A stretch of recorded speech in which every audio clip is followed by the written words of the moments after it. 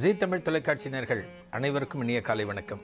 அற்புதங்கள் தரும் ஆலயங்கள் நிகழ்ச்சியில் ஒவ்வொரு நாளும் ஒரு அற்புதமான நமது வாழ்க்கையை வளம் பெருக்கக்கூடிய ஒரு நிலைக்கு கொண்டு செல்வதற்கான தெய்வங்களை நாம் தரிசனம் செய்து கொண்டு வந்திருக்கிறோம். இந்த ஆலயத்தில் அமர்ந்திருக்கக்கூடிய அந்த பகவானது திருநாமம் வரதராஜ பெருமாள். ரெண்டு பக்கமும் ஸ்ரீதேவி பூதேவி.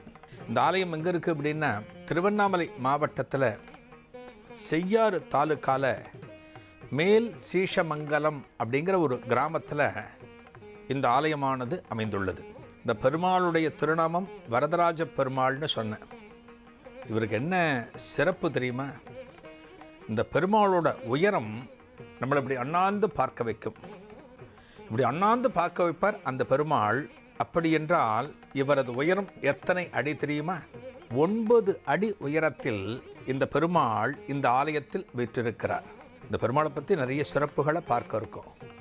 இந்த ஆலயத்தில் இருக்கக்கூடிய ஏனைய சன்னதிகளையும் பார்த்தபடி இந்த ஆலய அமைப்பையும் நாம் தரிசித்தபடி மேலும் பல சிறப்புகளை காண்போம். நாராயண நாராயண.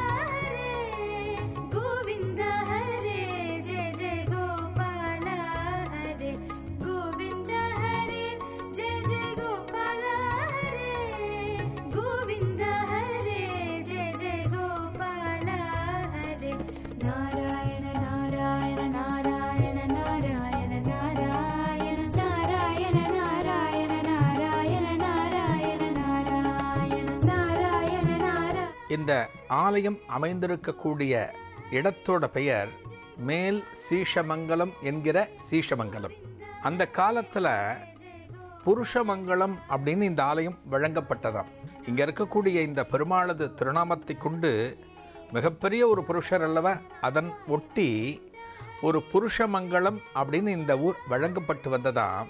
இங்கே இருக்கக்கூடிய பெருமாள் திருப்பதி பெருமாளை விட உயரம் வாய்ந்தவராம். அதை விட அதிக உயரம். இந்த ஆலயத்தில் பூஜை செய்யக்கூடிய அர்ச்சகர் என்ன சொல்றார் அப்படின்னா ஒரு திருப்பதிக்கு நாம் நேர்ந்து கொண்டு இந்த நேர்த்திக்கடனை அந்த ஆலயத்தில் செய்ய முடியாவிட்டால் இங்கே வந்து பண்ணலாம் அப்படின்னு இந்த ஆலயத்தோட அர்ச்சகர் சொல்கிறார் இந்த அற்புதமான வரதராஜ பெருமாளுக்கு ஒம்பது அடி பெருமாள் சொன்னேன் இல்லையா? இவருக்கு எப்படி அபிஷேகம் பண்ண முடியும்? ஒரு மேல் லெவலில் ஒரு இடத்துல ஏறி நின்று தான் அபிஷேகம் பண்ண முடியும். அதனால் என்ன பண்ணியிருக்காங்க பெருமாளுக்கு முன்னாடி ஒரு சின்ன மேடை கட்டியிருக்காங்க. ஒரு கிராமம் அல்லவா? அந்த கிராமத்தில் ஒரு மேடை கட்டி பெருமாளுக்கு முன்னாடி அந்த மேடைக்கு மேலே அர்ச்சகர் ஏறி நின்று இந்த பெருமாளுக்கு அபிஷேகம் செய்கிறார். உயரமான திருமேனி அற்புதமான அபிஷேகம் இந்த பெருமாளுக்கு நடந்த இந்த அபிஷேக திருக்காட்சிகளை நாம் கண்ணார கண்டு தரிசிப்போம்.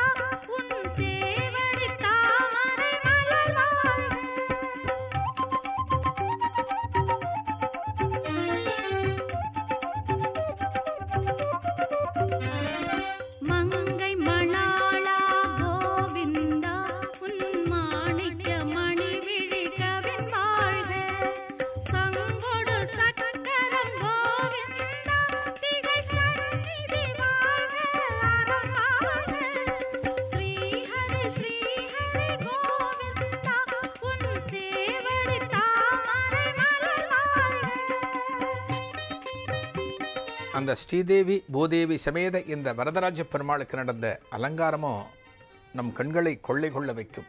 அபிஷேகத்தை பார்த்தோம். அடுத்து அலங்காரத்தையும் ஒரு சிறிய இடைவேளைக்கு பிறகு நாம் காணலாம். அலங்கார ஸ்ரீனிவாச அதிரூப சுந்தரேசா அதிகாலை சூரிய தேவா பெருமாளே வேங்கடேச அலங்கார ஸ்ரீனிவாசா ಅದಿರೂಪ ಸುಂದರೇಶ ಅಧಿಕಾಲೆ ಸೂರ್ಯ ದೇವ ಪೆರುಮಾಳೆ ವೆಂಕಟೇಶ ವಾನವಿಲ್ಲಿನ್ ವರ್ಣಜಾಲನೆ ಮಧುಸೂದನ ಕಣ್ಣ ವೇಣುಗಾನ ರಾಗದೇವನೇ ಮುರಳೀಧರ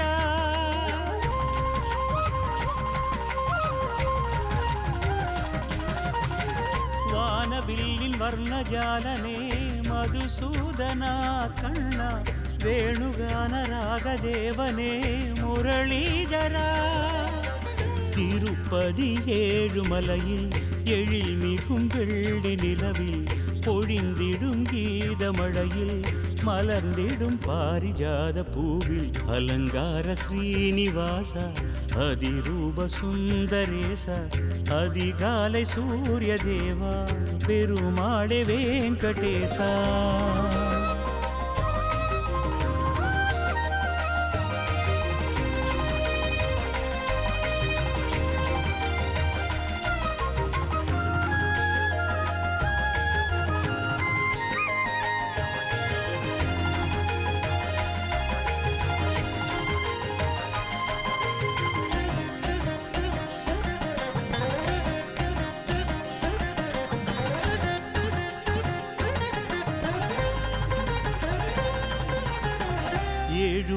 மலைகளாழ்பவன் ஹரிவோம் நமவோம் கிரிதரா. ஏழாம் கடலாகி நின்றவன் ஸ்ரீஹரி நர்த்தன ஏழு ஸ்வர கீதமானவன் ஸ்ருதியில் லயம் கேசவா. நாதஸ்வர ஓசையானவன் மங்களம் தரும் நாயகா. பிரம்மன் தந்த வேத கமலமே ஏந்தி கொண்டு வந்தவன். பாரதத்தில் கண்ணனானவன் இதை தந்த நாயகன் திருப்பதி தேவ சபையில் அருள்பதியான நிலையில் திருமலை ஞான வடிவில் கோவிந்தனாகி நின்ற தேவா. அலங்கார ஸ்ரீனிவாச அதிரூப சுந்தரேச அதிகாலை சூரிய தேவா பெருமாளே வேங்கடேசா. நமது முன்னோர்கள் காலத்தில் அப்போல்லாம் திருப்பதிக்கெல்லாம் எளிதில் செல்ல முடியாது. இன்றைக்கு இருப்பது போல போக்குவரத்து வசதிகள் கிடையாது. என்ன பண்ணுவாங்க? திருப்பதி வெங்கடாச்சலபதியை வேண்டினபடி ஒரு ஒரு ரூபா நாணயத்தை ஒரு துண்டில் சின்ன மஞ்சள் துண்டில் முடிஞ்சு என்ன நேர்த்திக்கடனோ என்ன பிரார்த்தனையோ அதை சொல்லி வீட்டு பூஜை ரூமில் வச்சுடுவாங்க. எப்போது திருப்பதி செல்வதற்கு ஒரு வேலை வாய்க்கிறதோ அப்போது இந்த காசெல்லாம் கொண்டு போய் உண்டியலில் போடுவாங்க. இல்லையா? நம்ம வீட்டில் பார்த்துருக்கோம். அதே போல் நம்ம இன்றைக்கும் திருப்பதிக்கு செல்ல முடியாதவர்கள் நிறைய பேர் இருக்காங்க இன்றைக்கும் எல்லாருக்கும் பண வசதி கிடைத்திருக்கிறது என்று சொல்ல முடியாது. எல்லோருக்கும் பரிபூரணமான தேக ஆரோக்கியம் வாய்த்திருக்கிறது என்று சொல்ல முடியாது. இத்தகைய கிராமத்து அன்பர்கள் இந்த பகுதியை ஒட்டி வாழக்கூடியவர்கள் இந்த வரதராஜ பெருமாளை ஒரு ஸ்ரீனிவாச பெருமாளாக பாவித்து கொண்டு அந்த திருப்பதி வெங்கடாஜலபதிக்கு நேர்ந்து கொண்ட பிரார்த்தனைகளை இந்த ஆலயத்திலும் வந்து செய்கிறார்களாம். பக்திக்கு எல்லாமே நமக்கு என்ன வேணும் அப்படின்னா அந்த பெருமாளுக்கு செஞ்சாலும் சரி இந்த பெருமாளுக்கு செஞ்சாலும் சரி பார்க்கடலில் இருக்கக்கூடிய அந்த வைகுந்த வாசனுக்குத்தான் செல்கிறது.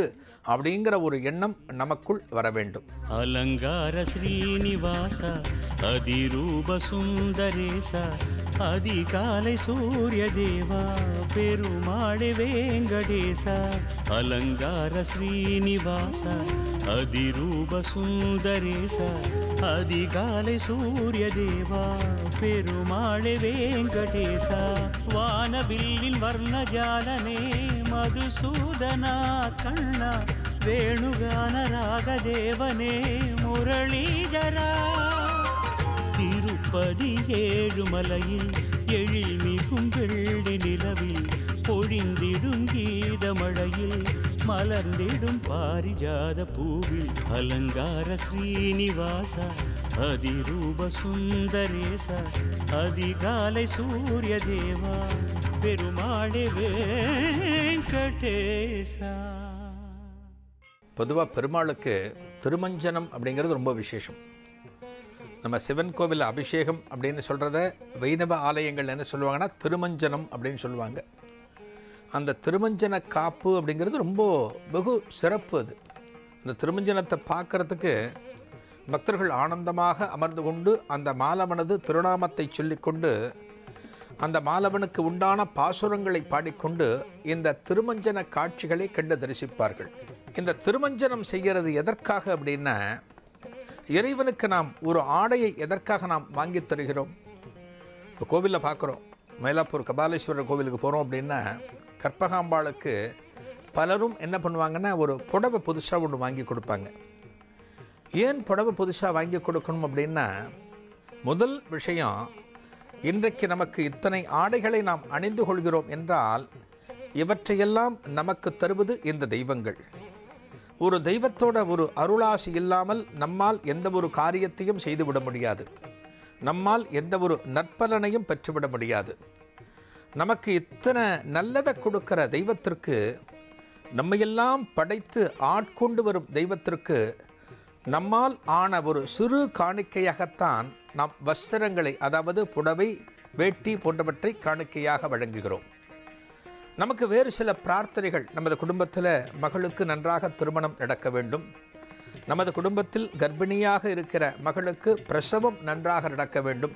இது போன்ற பிரார்த்தனைகள் இருக்கும்போது இந்த திருமஞ்சன காப்பை இந்த வரதராஜ பெருமாளுக்கு இங்கே இருக்கக்கூடிய அன்பர்கள் செய்கிறார்கள். இந்த உள்ளூரில் ஸ்ரீஷமங்கலத்தில் இருக்கிற அன்பர்களும் சரி இந்த செய்யாறு திருவண்ணாமலை போன்ற பக்கத்து கிராமங்களில் இருக்கின்ற அன்பர்களும் சரி இந்த பெருமாளுக்கு வேண்டிண்டு ஒரு திருமஞ்சன காப்பு பண்ணினா என்ன பிரார்த்தனையை மனசில் நினச்சாங்களோ அந்த பிரார்த்தனை உடனடியாக நிறைவேறி விடுவதாக ஆலயத்தின் அர்ச்சகர் சொல்கிறார். நம்ம திருப்பதிக்கு செல்லாமலேயே இங்கேயே நம்ம திருப்பதி நினச்சிட்டு இந்த வரதராஜ பெருமாளை நினைத்து கொண்டால் சகல வியாதிகளும் நீங்கும் அப்படிங்கிறது ஐதீகம். எந்த தடைகள் இருந்தாலும் எல்லா தடைகளும் விலகி நன்மை பயக்கக்கூடிய வகையில் அமைந்துள்ளார். கல்யாண தடை வியாபார தடை குழந்தையின்மை எந்த ஒரு காரியங்கள் இருந்தாலும் வரதராஜ பெருமாளை நினைத்து திருமஞ்சனம் செய்து வழிபட்டால் கோடான கோடி நன்மைகளும் கிடைப்பதோடு அவர்களுடைய எண்ணத்தில் என்னென்ன நினைக்கின்றதோ அத்தனையும் நிறைவேற்றி தருகிறார். ஒரு சிறிய இடைவேளைக்கு பிறகு இந்த ஆலயத்தின் மேலும் பல சிறப்புகளை நாம் காணலாம். வரதராஜ பெருமாள் அப்படின்னு நம்ம சொன்னால் நமக்கு உடனே நினைவுக்கு வரக்கூடியது காஞ்சிபுரம் வரதராஜ பெருமாள். இந்த வரதராஜ பெருமாள் திருக்கச்சிரம்பிகளுக்கு எப்படி அமைந்தார் என்றால் ஒரு தெய்வமாகவும் அமைந்தார். ஒரு ஒற்ற தோழனாகவும் அமைந்தார். இல்லையா? நம்ம படிப்போம் இல்லையா? திருக்கச்சி நம்பிகள் ஆகப்பட்டவர் இந்த வரதராஜ பெருமாளுடன் நேருக்கு நேர் பேசக்கூடிய மிகப்பெரிய பேற்றை பெற்றார். அந்த பெருமாளுக்கு இந்த கருவறையில் இருக்கக்கூடிய பெருமாளுக்கு நித்தமும் வியர்க்கும் என்பதால் ஆலவட்ட சேவை என்று சொல்லப்படக்கூடிய விசிறியால் நித்தமும் வீசிக்கொண்டிருந்தவர் திருக்கச்சி நம்பிகள். இறைவனை நாம் எப்படி நெருங்குகிறோமோ அதே போலத்தான் இறைவனும் நம்மை நோக்கி நெருங்குவான். இறைவனுக்கும் நமக்கும் இடைவெளி அதிகம் என்று நாம் நினைத்து இறைவனிடமிருந்து நாம் பிரிந்து வாழ ஆரம்பித்தால் இறைவனும் நம்மை நெருங்க மாட்டான். பக்தியில் ரொம்ப முக்கியமான விஷயம் இந்த பெருமாளை பார்த்தவுடனே இந்த ஆச்சானுபாகுவாக இருக்கக்கூடிய பெருமாளை பார்த்தவுடனே இவர் நாம் சொல்லுகின்ற பிரார்த்தனைகளை எல்லாம் நிறைவேற்றக்கூடியவர். நாம் என்ன கோரிக்கை வைத்தாலும் இவர் நிச்சயமாக நிறைவேற்றுவார் என்றெல்லாம் நமது மனதில் நினைத்து கொண்டு இந்த பெருமாளை நாம் அணுக ஆரம்பித்தால் இந்த வரதராஜ பெருமாள் இங்கே இருக்கார் இல்லையா? ஸ்ரீஷமங்கலத்தில். எத்தனையோ ஆண்டுகளாக அருள் பாலித்து வருகின்ற இந்த பெருமாள் நமக்கும் நல்லனவற்றை செய்து நமக்கும் ஆசிகள் வழங்க இந்த இடத்தில் காத்து கொண்டிருக்கிறார். திரு கோவிந்த நாமம் சொன்னாலே போதும் அந்த நிலை வருமே. உன் கோலத்தை காணும் அடியவர்க்கெல்லாம் பொருளோ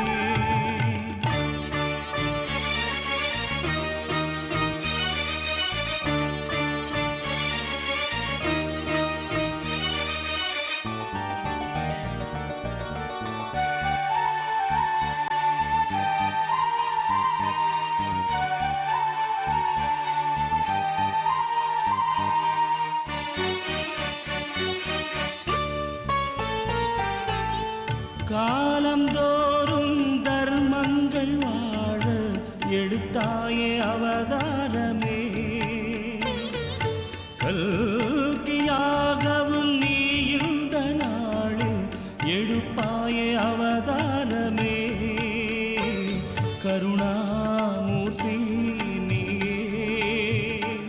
காக்கும் தெய்வம் நீயே. வைகுந்த வாசனே மாதவா. ஸ்ரீலக்ஷ்மி நாதனே கேசவா.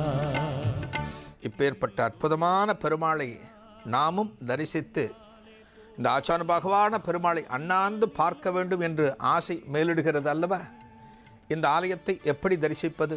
சென்னையிலிருந்தும் பிற நகரங்களிலிருந்தும் ஆரணியை அடைவது மிக எளிது. இல்லையா? ஆரணி பட்டுக்கு பெயர் போன நகரம். இந்த நகரத்தை நாம் சுலபமாக அடைந்து விட முடியும்.